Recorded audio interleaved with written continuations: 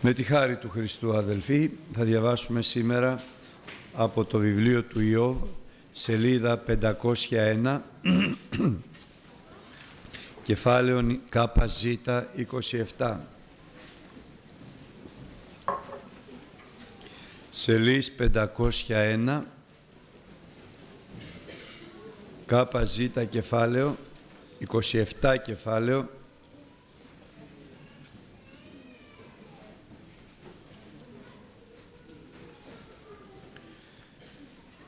Σελίς 501, 27 κεφάλαιο από το βιβλίο του Ιώβ. Και εξικολούθησε ο Ιώβ την παράβολη αυτή και είπε «Ζει ο Θεός, ο αποβάλλον την κρίση μου και ο παντοδύναμος ο πικράνας στην ψυχή μου. Ότι πάντα το χρόνο ενός η πνοή μου είναι νεμή και το πνεύμα του Θεού εις τους μικτήρες μου, τα χείλη μου δεν θέλουν συλλαλήσει αδικίαν και η γλώσσα μου δεν θέλει μελετήσει δόλων. Μη γέννει το εις εμέ να σας δικαιώσω έως να εκπνεύσω.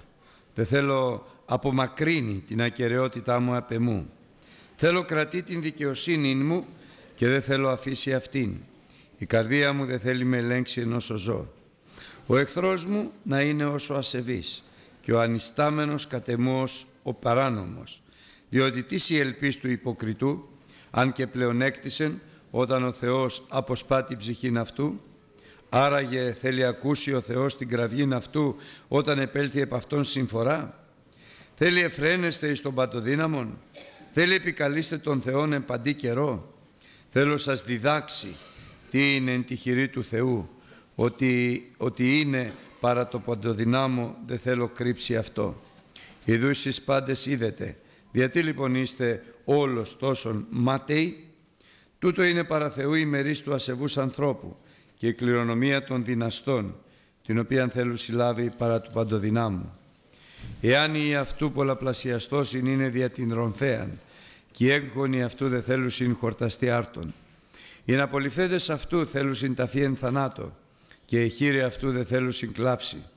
Και αν επισωρεύσει αργύριον ως το χώμα και ετοιμάσει ιμάτια ως τον πηλόν, δύναται μεν να ετοιμάσει πλην, ο δίκαιος θέλει ενδυθεί αυτά και ο αθώος θέλει διαμοιραστεί το αργύριον. Οικοδομεί τον οίκον αυτού ως το σαράκιον και ως καλύβην, την οποία κάνει ο, κάμνη ο αγροφύλαξ. Πλαγιάζει πλούσιος, πλην δεν θέλει συναχθεί. Ανοίγει τους οφθαλμούς αυτού και δεν υπάρχει. Τρόμοι συλλαμβάνουν συν αυτόν ως ύδατα, ανεμοστρόβιλος αρπάζει αυτόν τη νύχτα. Σηκώνει αυτόν ο ανατολικός άνεμος και υπάγει και αποσπά αυτόν από του τόπου αυτού. Διότι ο Θεός θέλει ρίψει κατά αυτού συμφοράς και δεν θέλει φυστεί από τις χειρός αυτούς πέβδει να φύγει.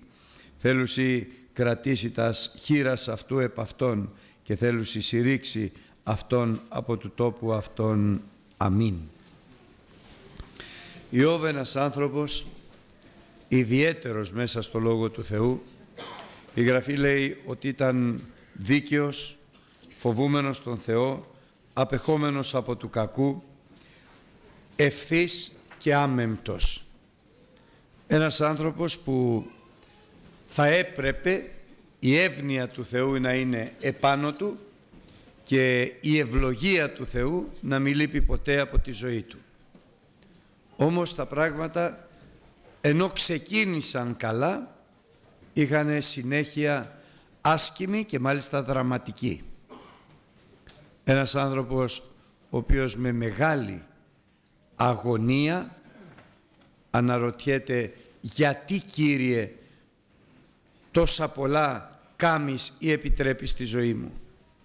Ένας άνθρωπος ο οποίος το όνομά του σημαίνει καταδικο... καταδιοκόμενος και πιστεύει ότι τον διώκει ο Θεός. Και μάλιστα τον διώκει ο Θεός εν αδικία, χωρίς λόγο, χωρίς αιτία. Ένας άνθρωπος που είδε να χάνονται όλα από τη ζωή του. Μόνο η γυναίκα του του έμεινε. Τα παιδιά του, οι κόρες του, τα υπάρχοντά του, τα σπίτια του, όλα τα χάσε. Και τέλος ακόμη και αυτή την ίδια την υγεία του με μία ασθένεια τρομακτική όπου έξινε τις πληγές του με κεραμίδια, με όστρακα και ένα γιατί, μια κραυγή του γιατί έφτανε μέχρι τον ουρανό. Αλλά δεν ήξερε. Δεν ήξερε ότι αυτός που τον καταδίωκε δεν ήταν ο Θεός, αλλά ήταν ο διάβολος, ο οποίος έβαλε στόχο τον άνθρωπο αυτό για τη δικαιοσύνη του. Έβαλε στόχο τον άνθρωπο αυτό για την ευλογία του Θεού επάνω του. Και ο Θεός έχοντας εμπιστοσύνη σε αυτόν τον άνθρωπο επέτρεψε μεγάλα κακά. Και δεν έφτανε μόνο αυτό, αλλά τον πλησίασαν και τρεις φίλοι του, οι οποίοι ήταν, όταν είδαν το κακό που ξέσπασε πάνω του, είχαν εύκολη την απάντηση στο γιατί, μια και δεν αφορούσε αυτούς τους ίδιους.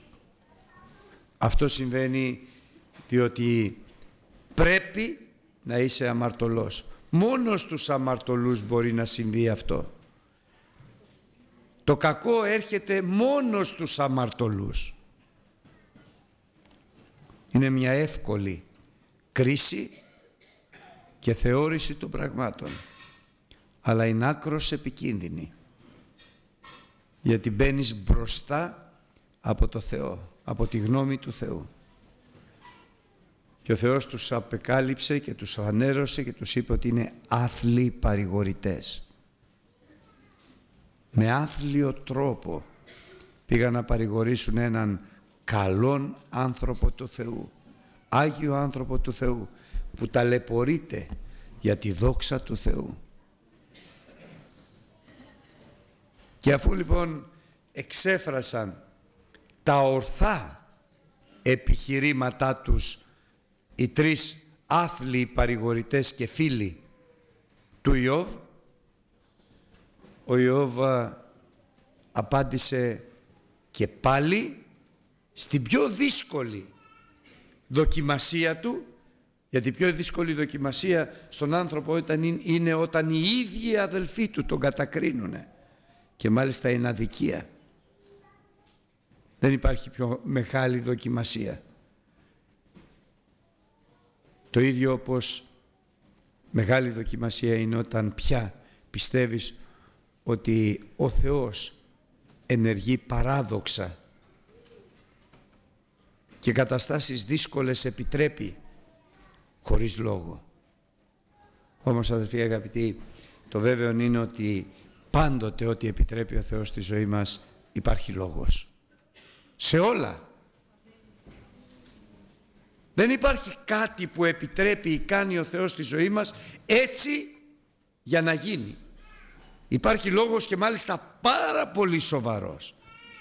Και ο λόγος εκ των προτέρων μπορούμε να πούμε εμείς ήταν ότι ο Θεός ήθελε να αναβαθμίσει τη σχέση του Ιώβ με Αυτόν. Ήθελε να φέρει τον Ιώβ, τον Άγιο που διεκρίνεται για την υπομονή του, να τον φέρει ακόμη πιο κοντά του γιατί έπρεπε κατά το θέλημα του Θεού. Όχι μόνο ο Ιώβ να ακούει τη φωνή του Θεού, αλλά και να βλέπει το ένδοξο πρόσωπο του Κυρίου. Και έπρεπε ακόμη να τον χρησιμοποιήσει τον Ιώβ και για να ταπεινώνει τους υπερηφάνους. Αλλά έπρεπε ακόμη να τον χρησιμοποιήσει τον Ιώβ για να μας φανερώσει ο Θεός και το πώς εργάζεται και ότι δεν ισχύει ότι κακό έρχεται στη ζωή του ανθρώπου επειδή αμάρτησε. Και αυτό είναι, αλλά δεν είναι μόνο αυτό. Και ο Ιώβ λοιπόν αξιόπιστος ενώπιον του Θεού παίρνει τη θέση που ο Θεός ήλπιζε ότι θα λάβει. Στις κρίσεις λοιπόν και στις κατακρίσεις των φίλων του, των άθλιων παρηγορητών, ο Ιώβ απάντησε «Ζει ο Θεός μου». Ο αποβάλλον την κρίση μου αυτός που δεν με δικαιώνει και αυτός ο οποίος πικραίνει την ψυχή μου. Αλλά πέραν του ότι δεν με δικαιώνει και πικραίνει την ψυχή μου, εγώ εξακολουθώ να τον αγαπάω. Και αυτό αδερφοί αγαπητοί είναι ένα φοβερό μήνυμα. Δεν έπαψε ο Ιησούς ο Ναζωραίος επάνω στο σταυρό του Γολγοθά όταν απέστρεψε το, το βλέμμα του ο πατέρας να αγαπάει τον πατέρα του. Γιατί; Γιατί ήξερε ότι αυτό ήταν το θέλημά του να πεθάνει. Αλλά την τρίτη μέρα θα τον αναστήσει ένδοξα. Ήξερε ότι ήρθε η ώρα να αφήσει αυτό το σώμα, το σάρκινο, το γήινο, το χωικό για να ενδυθεί πρωτότοκος εκ πάντων των νεκρών.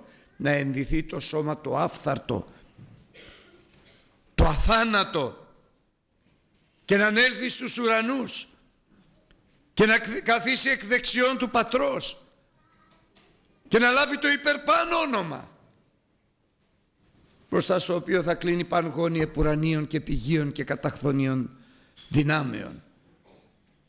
Και ο Ιησούς Χριστός το ήξερε, γι' αυτό αγωνίστηκε.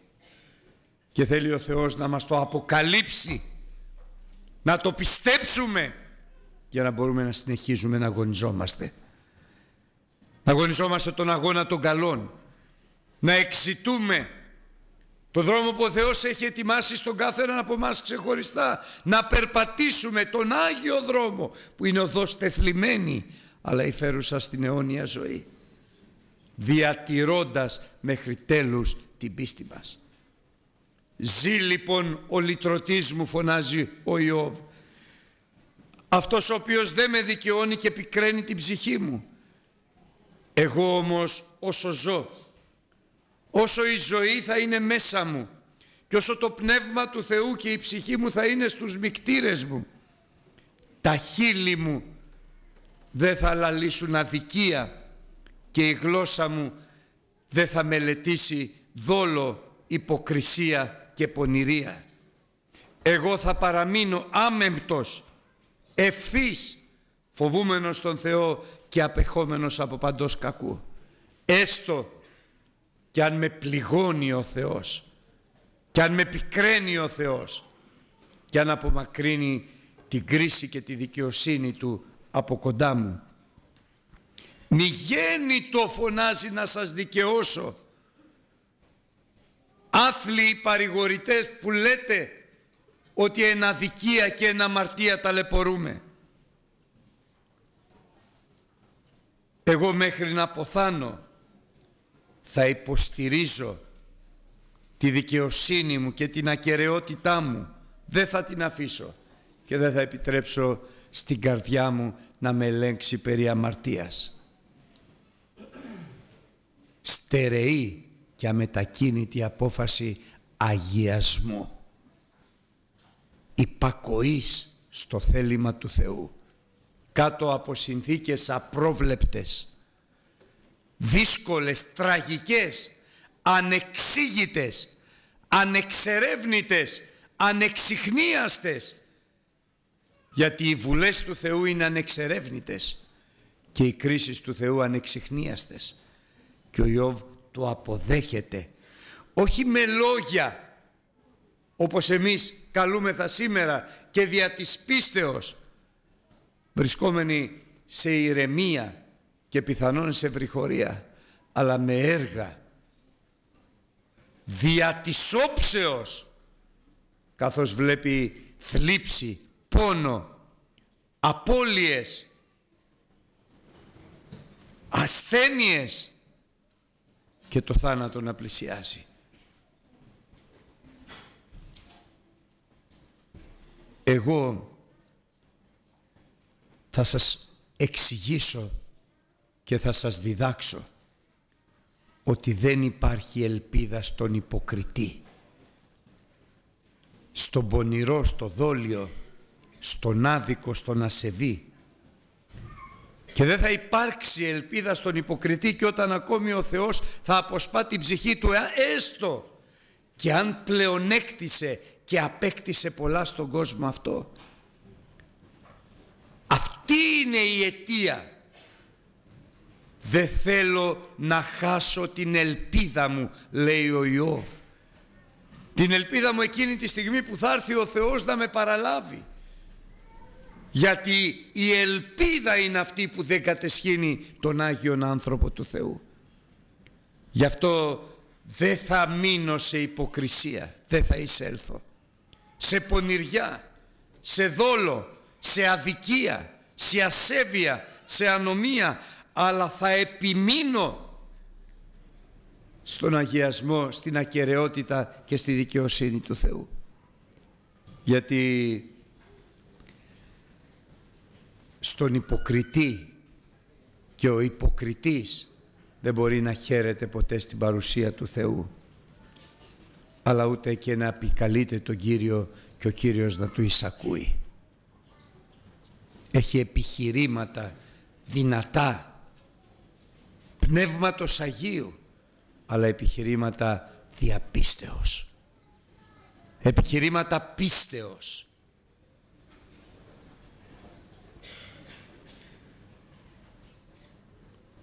Εγώ λοιπόν θέλω σας διδάξει, απευθύνεται στους τρεις άθλιους παρηγορητές, ποια είναι η δύναμη του Θεού και ποια είναι τα σχέδια του Θεού που τα έχει κρυμμένα μέσα στο πνεύμα Του.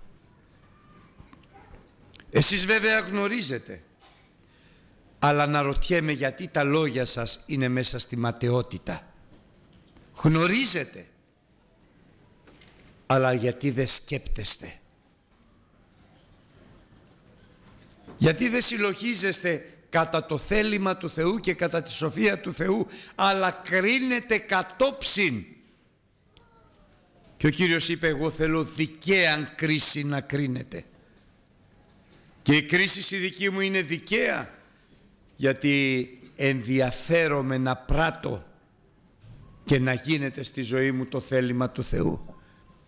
Ενώ εσείς κρίνετε κατόψιν και κατά σάρκα ανθρώπινα και γήινα. Γι' αυτό αν και γνωρίζετε δεν ξέρετε. Αν και έχετε ακούσει δεν καταλαβαίνετε. Τούτο είναι λοιπόν παρά του Κυρίου η μερίδα του ασεβούς ανθρώπου και η κληρονομιά των δυναστών και των τυράννων. Αυτή είναι η κληρονομιά, αυτή είναι η μερίδα που θα σας εξηγήσω τώρα. Όλων των ασεβών και όλων των τυράννων, των δυναστών που καταδυναστεύουν τους άλλους ανθρώπους με πονηριά, υποκρισία και δολιότητα. Και αν βλέπετε πρώτον και αν βλέπετε τον καρπό να πολλαπλασιάζεται, πολλά τέκνα να έχουν μάθετε ότι αυτοί όλοι είναι διαθάνατον και διαρρομφαία και όλοι οι έκγονοι τους, οι απόγονοί τους δεν θα χορτάζονται ποτέ άρτου. Δεν θα έχουν καλή συνέχεια. Και εδώ αδερφοί αγαπητοί ο Θεός να μας φυλάει. Γιατί μας ενδιαφέρει η συνέχειά μας. Μας ενδιαφέρουν η οικογένειά μας, τα παιδιά μας, τα εγγόνια μας. Μας ενδιαφέρει ο καρπός μας. Μπορεί να είσαι νέος και ακόμη να μην το έχεις σκεφτεί. Αλλά ο καρπός είναι για όλη την ζωή σου και για όλους τους ανθρώπους. Καλός καρπός. Ο ασεβής, ο υποκριτής, ο δόλιος, ο δυνάστης δεν μπορεί να έχει καλό καρπό και όλοι όσοι απομείνουνε θα ταφούνε σε κακό θάνατο και αγάπη δεν θα υπάρχει ανάμεσά τους ώστε οι χείρες δεν θα κλαίνε. Μια συνέχεια τραγική. Και μιλάει αυτός, ο Ιώβ, που ζει μέσα σε αυτή την τραγική ζωή. Που έχει χάσει τα παιδιά του, τις κόρες του, τα αγόρια του, τα υπάρχοντά του. Τι διαφέρει δηλαδή αυτός από αυτά που λέει; Η μεγάλη διαφορά είναι ότι ελπίζεις στον Κύριο. Και ο ελπίζον στον Κύριο είναι γεγραμμένο και η Γραφή δεν δύναται να αναιρεθεί, δεν θέλει κατεσχυνθεί εις τον αιώνα.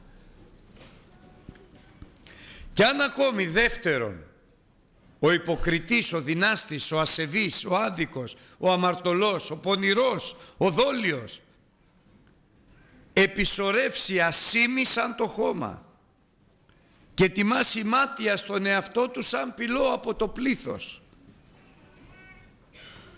Μπορεί να τα ετοιμάσει. Δεν αποκλείεται. Είναι πολύ πιθανόν. Γιατί ο Θεός δεν επεμβαίνει άμεσα. Είναι μακρόθυμος και περιμένει τη μετάνοια και την επιστροφή του ανθρώπου. Μπορεί να τα ετοιμάσει. Αλλά ο δίκαιος θα τα ενδυθεί αυτά και ο αθώος θα διαμεριστεί το ασήμι του. Ο δίκαιος και ο αθώος εν τέλει θα τον κληρονομήσει. Τρίτον, οικοδομή των οίκων του. Μεγάλον και σπουδαίο και ευρύχωρο και πολυτελέστατο. Αλλά δεν θα μπορέσει μέσα εκεί να αναπαυθεί. Κλείνει τα μάτια του και κοιμάται και μέχρι να τα ανοίξει τα έχει χάσει όλα. Τρόμοι τελικά συλλαμβάνουν σε αυτόν και πλημμυρίζουν σαν ύδατα τη ζωή του και ανεμοστρόβιλος αρπάζει αυτόν βία και χάνεται μέσα στην καταστροφή. Διότι και συμβαίνουν όλα αυτά, διότι ο Θεός θα ρίψει κατά αυτούς συμφορές. Δεν θα αφιστεί και θα τρέχει να γλιτώσει από τα χέρια του Θεού. Αλλά αγωνία και φόβη θα τον διώξουν μακριά και τελικά θα μείνει μόνος του. Τελικά θα μείνει μόνος του. Και το λέει αυτό ποιος; Ο Ιώβ που έχει μείνει μόνος του. Αλλά γιατί; Ποια είναι η διαφορά; Η διαφορά είναι ότι ο Ιώβ ελπίζει και προσμένει την επέμβαση του Θεού που δεν θα βραδύνει να εμφανιστεί. Αλλά ο άδικος, ο ασεβής, ο άνομος, ο αμαρτωλός, ο δόλιος, ο πονηρός, ο υποκριτής θα επικαλείται το Θεό αν τον επικαλεστεί αλλά δεν θα του απαντάει. Γιατί ο δίκαιος πέφτει 7 φορές και 7 φορές τον σηκώνει ο Κύριος. Ο άδικος όμως πέφτει μια φορά και κατασυντρίβεται. Και αυτές είναι οι αλήθειες του Λόγου του Θεού αδερφοί αγαπητοί. Ας θυμηθούμε ότι δεν φτάνει να είμαστε αναγεννημένοι, βαφτισμένοι με Πνεύμα Άγιο, ακόμη επιμελής στη ζωή μας και στο έργο του Θεού, εάν δεν αγωνιζόμαστε τον καλόν αγώνα, τον αγώνα του αγιασμού, τον αγώνα που δημιουργεί ελπίδα και η ελπίδα δεν κατεσχύνει. Εάν δεν αθυμούμε στην παιδεία του Κυρίου, εάν αθυμούμε, συγγνώμη, στην, παγίδα, στην παιδεία του Κυρίου, αν μικραίνουμε ή εξαφανίζουμε από τη ζωή μας το σταυρό μας, εάν δεν υπολογίζουμε ότι η θλίψη εργάζεται υπομονή αλλά θέλουμε να διώξουμε τις θλίψεις από τη ζωή μας εκλέγοντας οδό ο λίγων φαρδίτερη που οδηγεί όμως στην απώλεια. Εάν δεν αναγνωρίσουμε ότι η θλίψη εργάζεται υπομονή και η υπομονή εργάζεται δοκιμή και η δοκιμή εργάζεται υπομονή που ε, ελπίδα η οποία δεν κατεσχύνει. Είναι ένας συγκεκριμένος δρόμος, τον οποίο μας καλεί ο Χριστός λέγοντας «Έλθετε προς με, πάντα σηκωπιώντες και υπεφορτισμένοι και εγώ θα σας αναπαύσω αν μάλιστα μάθετε απ' εμού ότι είμαι πράος και ταπεινός στην καρδία τότε θα δώσω ανάπαυση στην ψυχή σας. Αλλά ταυτόχρονα ομολογεί και προσκαλεί. Εάν κάποιος από σας θέλει πραγματικά να με ακολουθήσει, ήρθατε σας ανέπαυσα, Αλλά τώρα αν πραγματικά κάποιος από σένας, από σας θέλει να έλθει πίσω μου, πίσω μου. Όχι ο πίσω των ορέξεων της καρδιάς του ή ο πίσω άλλων ανθρώπων, άλλων γνώσεων, άλλων υποθέσεων και άλλων καταστάσεων. Τώρα που σας έδωσα ανάπαυση στην ψυχή σας, τώρα που σας αναγέννησα, σας βάφτισα με πνεύμα Άγιο, άλλαξα τη ζωή σας, έγραψα τα ονόματά σας στο βιβλίο της ζωής. Προσέχετε! Γιατί κάποια στιγμή θα κλείσει η πόρτα. Και κάποιοι θα φωνάζουν άνοιξον, άνοιξον εις ημάς. Εν το όνομα σου προφητεύσαμε. Εν το όνομα σου εξεβάλαμε δαιμόνια πολλά. Εν το όνομα σου κάναμε θαύματα πολλά. Και η απάντηση του Κυρίου είναι φύγετε. Ποτέ δεν σας εγνώρισα. Και ο Απόστολος Παύλος φανερώνει ότι μόνο ο αγαπών των Κύριων γνωρίζεται υπ' αυτού. Ποτέ δεν σας εγνώρισα.